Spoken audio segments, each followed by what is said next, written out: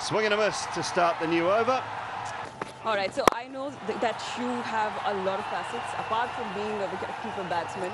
You're also a drummer and you like fishing. Tell me where. To Maldives, so that was time when I, I was like that. Yeah, it's a fun hobby, so let's continue this, and it gives you a lot of patience as well in life too. in The globe now, so he's quite supportive, and like I think it's the biggest inspiration for me because he has played for Pakistan for so long, like more than 14 years.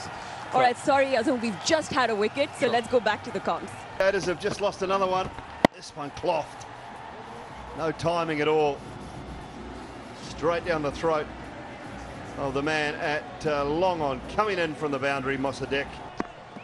69 for two here, and just a single brings up 70. No, chance of a run out maybe. Doesn't throw it, doesn't let it go. Cameron Delport. Swung high and hard, but not far enough. Straight to the man at deep mid wicket. And another one goes. So the two set batsmen have been dismissed within the space of four deliveries. Sounded at first like he really got a hold of this. But turns out a big miss hit. Deep mid comes in, takes the catch. Very safe, very happy bowler.